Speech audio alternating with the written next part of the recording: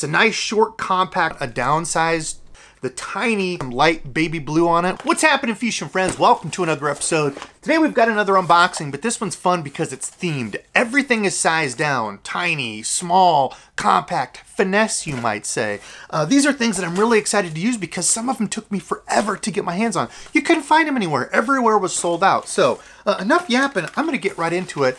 The number one thing uh, that I'm most excited to use is these. I had seen pictures of these on Instagram for some time, couldn't find them, and finally got my hands on them. These are the new Ike's Mini Swim Jig from Missile Jigs. As you can see on the back here, it takes you through everything. It's got a little bit different weighted head. It's keel weighted, so it's not to roll on you. It's a nice, short, compact profile. It's got that big eye on the front that I really like. Talk about a compact little swim jig that I think is going to kill in ponds, uh, the small lakes that I've got around here. I cannot wait to tie this thing on. You know how I'm a, a, finesse jig fan. Of course, Randizzle got me on the finesse jigs, you know, when you're working rocks and stuff. But a little small, tiny, compact swim jig like this, uh, I think is going to do some work, especially when those fish are finicky. Now, those little swim jigs are made perfect to pair with the, uh, the mini D-Chunk that Missile Baits put out Awesome little trailer. I can't wait to use this on some of those chatterbaits. I think this is going to have a bunch of uses. Even the round ball head finesse jig that Randall and I use, uh, they pair really nicely with that. Now they come in some really cool colors, these little mini swim jigs. We've got the chartreuse white and purple, kind of the, uh, the Baxter Baitman special, funny enough. Uh, Baxter and I both love the chartreuse and purple. Uh, they've got bone. You see that a lot of topwater crank swim baits. You don't see that in jigs. It's an interesting color. They have the bluegill, which is like a green pumpkin with green glitter, flash, and flake in it. You know, kind of your bluegill imitation. The tried and true black and blue, they call it bruiser, which will match perfect with that mini D chunk on there. Oh, get the standard old green pumpkin, gives you a lot of options for trailer colors. Ike's Secret, this is an interesting one. It's kind of some light baby blue on it with some uh, green pumpkin and black. You know I'm picking up some of the June bug, black and purple. Uh, I think is highly underrated. It's got the little chartreuse eyes. Got the lava craw that I think is going to kill it this spring. You've got the deep red and the orange on it. Perfect colors for spring. Uh, there's also a pearl white uh, that I didn't get my hands on, but there's uh, the shad flash that I have here. A little bit more translucent, a little bit more natural looking, but I cannot wait to tie some of these on and throw them this spring. I think they're going to do work. Now, speaking of baits that I've been excited to get my hands on, we've got some of these. These are the Otts Garage, the tiny four. So the cool thing about these are they're a little bit smaller. It's a smaller compact profile, uh, but they're only diving to four feet. Now I had some of the Otts Garage, uh, which normally dive to like six feet. And where I fish from the bank, they just dive a little bit too much, uh, a little bit too dig, too, too so I think these are going to be key in those spots where I'm paralleling the bank, riprap banks and such, uh, you know, the little fishing jetties. Going just a little bit shallower is definitely going to help. I can't wait to throw these this spring because, uh, as you can see there, it's a flat-sided crankbait got a nice circuit board lip on it. Good, sturdy, sharp hooks on it. I got some of these out and was testing them. Um, really nice hardware on them. Great for the cold water and the buoyancy of that balsa, making sure it's going to float up is awesome for bank anglers. I grabbed a number of awesome colors. This is the shad color. Really good natural looking color. I got the old perch. That's kind of the old school perch look. Really digging the look of that one in stained water or, uh, or there are perch. Got the mossy chartreuse car. You got that brown on top, the chartreuse and the orange belly. Another good one. And the Helsinki shad one of my favorite colors that Rapala puts out. Uh, I think this is going to be one of my favorites around here. I also got the live river shad, which is almost like a Tennessee shad. Uh, this one has the foil on it though, which looks really nice. Cool paint job. It's got kind of that green uh, uh pearly up top. Uh, but looks cool, especially when you've got some sun and want that to give a little flash. I like that uh, that foil on it. I grabbed this one because I know everybody's going to love the name of it. It's the root beer craw. Root beer is a color that I actually do like to throw. Uh, this, I don't know, uh, doesn't really remind me of the root beer. It's usually got like the yellow and brown, but uh, I still like the craw color, good and natural. This one they call Big Shad, so it's got the iridescent greens on it, that purple, uh, kind of greenish up top with that yellow line. Almost reminds you of like a spinoff of the Sexy Shad. Uh, but that's going to be a good one around here too. The name on this one is Crawdad. I don't I don't know if they mislabeled this one, but it's more like a, I would have thought this was like Gold Shiner or something. I don't know if that's wrong uh, or what the deal is, but it's like a gold shiner looking thing with a shad dot. So I don't, I don't know about crawdad. What? I mean, see, they put crawdad on there. I don't think that's a crawdad. And then the citrus shad, perfect for that dirtier water where you want a little bit brighter color. Um, I like that with the uh, kind of the orange and chartreuse on the belly. Again, a good shad profile, you know, bait fish, anything where you want a little bit more of a an oomph of brightness to it. Well, sticking with the whole crankbait theme, I got some Jackall crankbaits. I honestly don't really throw any Jackall stuff at all. It's kind of that JDM stuff coming over. Uh, but this is a cool one. They call it the Mushbob 50SR. Now this is a small bodied crank. Uh, they say it does really good around cover in that compact profile. The other thing I like about it, look at the range on it, 1.2 meters. So this is a shallow diving crank, again, for bank bait, bank, bank bait? Bank fishing, which uh, people don't talk about enough. I feel like there's all kinds of people talking about pro secret tips that are, you know, undiscovered and now that you can find them and all these other like tournament deals. But as far as bank fishing, I feel like uh, bank anglers still don't get enough love. So this is going to be another good one.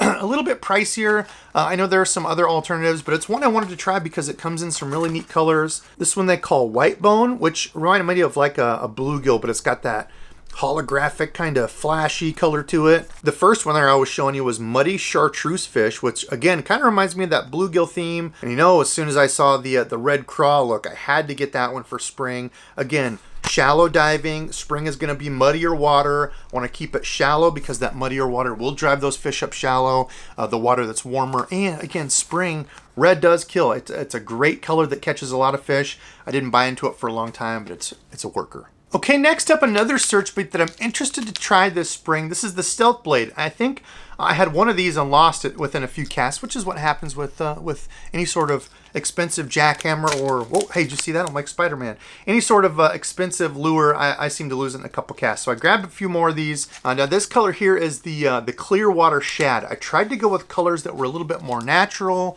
uh, a little bit more translucent, because with this Stealth Blade, you can see here it's got the plastic blade that's see-through so it doesn't have as strong of a vibration to it.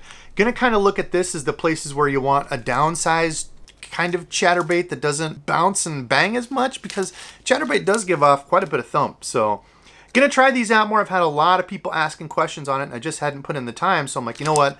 I'm gonna grab some of these and try them. Uh, this is the green pumpkin shad. Again, pretty normal looking, just with a little bit of green pumpkin. I think that's a, a good imitation to bait fish, you know, either bluegill, shad, anything like that where it's kind of got the dark top and the, you know, the white lighter belly. I grabbed the Beehite Delight, truly one of my favorite colors that uh, that they make in the uh, the chatterbaits. Good color, again, the green pumpkin chartreuse, great way to mimic bluegill. And lastly, spot remover, very good natural color. That silver head gonna give a little bit of flash, uh, you know, kind of a translucent, see-through, but still natural skirt. So we'll see how they do. I don't know. I've, I've really heard kind of split, uh, you know, decisions on these from people. Some people really like it and say it's a cool, downsized, finesse, you know, version of the uh, the chatterbait. Other people say don't waste your money on it, get the regular jackhammer or other chatterbaits. So I don't know. We'll see. Maybe they're hype. Maybe they're cool. If you've used them, comment below and let me know. I'm interested because I think they're kind of cool. Okay, I'm excited about these because it's been a while since I've got to show y'all some frogs. Uh, these are the new Mini SPRO. This is the Bronzeye Pop 40. Now, the smallest frogs that I've thrown, I think, are the little Booyah frogs. You can see here the difference between the size. The Booyahs are still a decent little amount bigger than these. Let me take one out. These little dudes are only one-fifth of an ounce, 40 millimeters long. I don't know what the hookup ratio is going to be like on these. Um, as I just took it out of the box and tried to squish it down, the back is kind of fat. I feel like it, needed some little bit bigger hooks on it, but hooks are razor sharp. They do come with Gamakatsu hooks, this little pop in mouth. One thing you can do is downsize to a smaller frog like this when you feel like you're getting the bites, but the fish just aren't getting it. Sometimes it's small fish, and with frog fishing, sometimes they just flat out miss it. But going to a little bit smaller profile frog can help. Now, I'm going to trim up these legs a little bit too, and I think uh, I'm going to throw this on a medium heavy spinning setup. I've got an old spinning rod with some braid on it that I think will do well on this, maybe some 30 pound braid.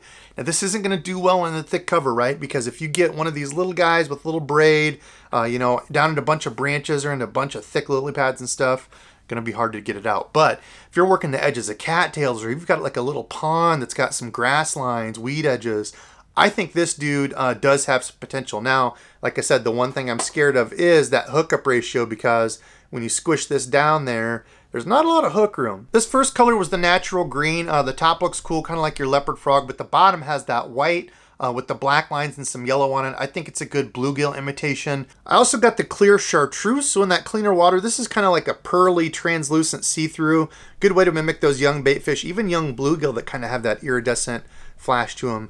And then the rainforest black, uh, one of my favorite colors that they make black belly with just the yellow on it. Looks really nice. Uh, and mostly, uh, I was going to get just the all black. That's what I throw mostly is just a straight black, but they didn't have it. So uh, this was the next best thing. They look pretty cool, so we'll see what they do. I don't, I don't know. Interesting. Okay, the last thing I've got before we got into the soft plastics are some of these. These are some little blingy, flashy underspin, you know, kind of looking little blades here that you can put onto any sort of rig you want. Now it's got a little hole here, so you can put the line of your like Texas rig, uh, you know, up in front of the weight. You could put it on there, so if you're bouncing a worm or a swim bait, it's gonna give a little bit of flash in front of it. I also thought you could take something like the old uh, regular underspin, thread it onto the hook like so, push it down on there, it's rubber, it's got some give to it, and look at this you could make like a tri-spin. You imagine this thing coming through. Now this is a way to uh, to mimic like a little tiny uh, A-rig if you've got you know A-rig restrictions. Some states can't even use them. If you don't want to throw like a big spinner bait with big huge blades all over it, look at that. That baby flashing out to the sides. Hold on, let's get a let's get a plastic. Oh, what do y'all think of that? I think this might look pretty cool. Picasso has one kind of like this. Uh, I really wanted to try for a long time, but Gee Willikers, couldn't get my hands on them because Tackle Junkie bought uh, every single one that ever existed. So, pretty cool. Like I said, it's rubber, so it should stay there uh, in place. Uh, these are rubber here at stretch, you can see there, so you shouldn't have to worry about fish breaking them off. Durability should be good. I don't know. This is a this is the old Cumberland underspin head. Y'all know I'm a big fan of the Cumberland underspin. Uh, the new one it would look even better with on here. I like the head design and the new one. It's a little bit shorter, not as long. So I don't know. Yeah, man, my uh, my rigging on that swim bait wasn't very good. But hey, it's got the shad dot. I don't know. Comment below. What do you think? Think this will catch some fish? I think I could trick a few fish into eating this beautiful little thing. Okay, into the soft plastics. When I saw these, I wanted to give them a try. Uh, this is actually the color that came up when I was browsing. Uh, and we have a bunch of rusty crawfish. That's what this is. The Lil General, 2.75 inches. This is in that rusty craw color. Uh, they're an invasive species around here in Iowa. So I thought, man, you know what? That might be cool to try. And a lot of the crawdads that we have kind of have that whitish, creamish colored belly, and then, you know, various shades of brown, uh, almost green pumpkin. Um, so I think this is going to be a pretty killer uh, and cool little color to try. Now, does have that power bait stink, which I've got a, a ton of confidence in the power bait scent.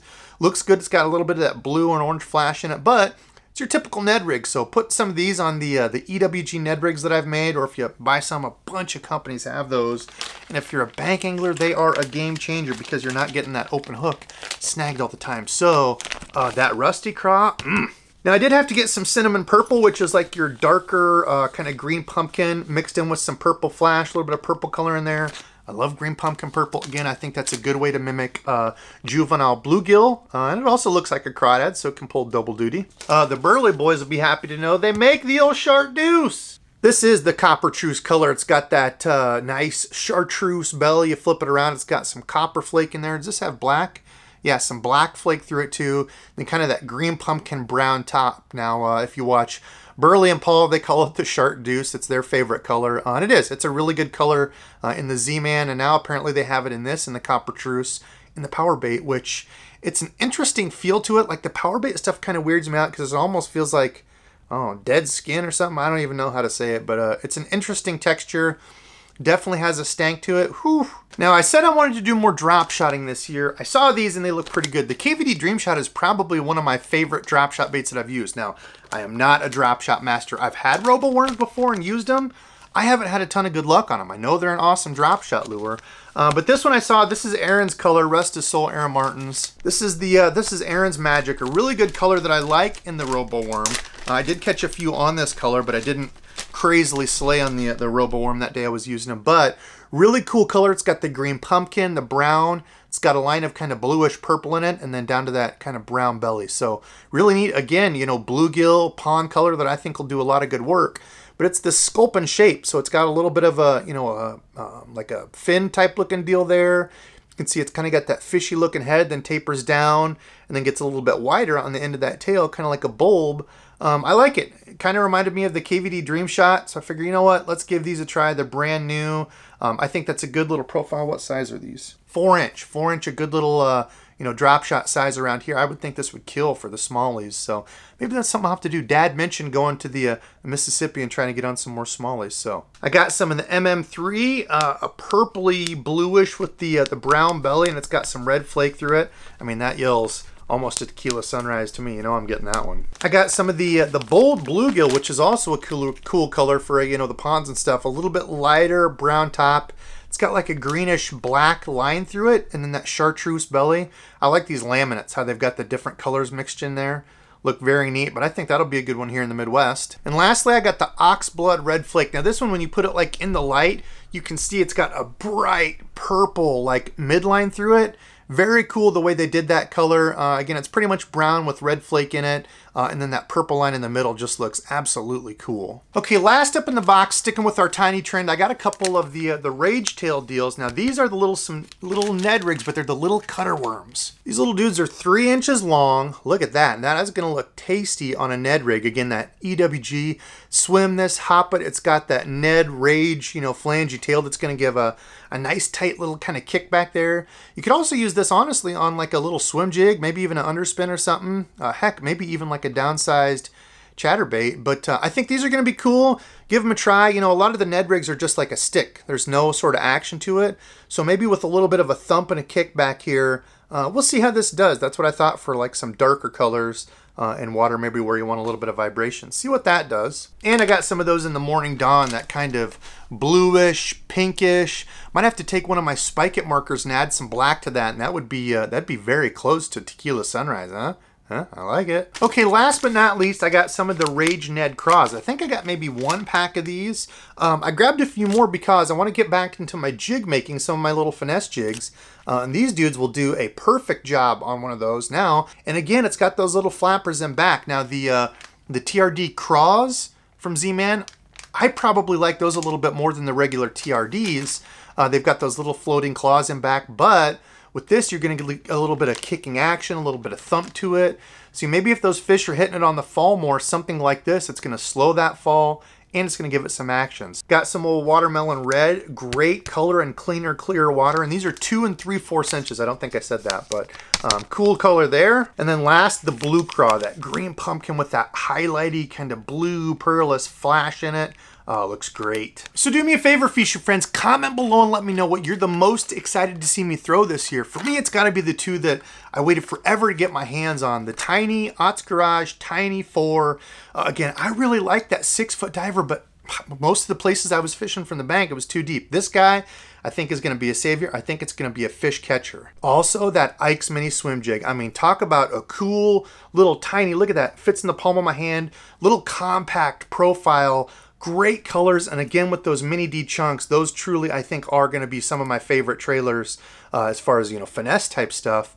You want a little kick, they pair perfectly with this. It's got a flat bottom and the way that head is shaped, you can see there, comes through grass well. You can ride up and over wood well, again with that flat bottom it's going to sit just like that when you need it to. So I don't know. And today's subscribe feature friend is my guy, Al Kavanaugh. Al, thank you very much for watching and supporting. I appreciate it a ton. I did see you were the first comment uh, on my Ned Rig video, which is funny.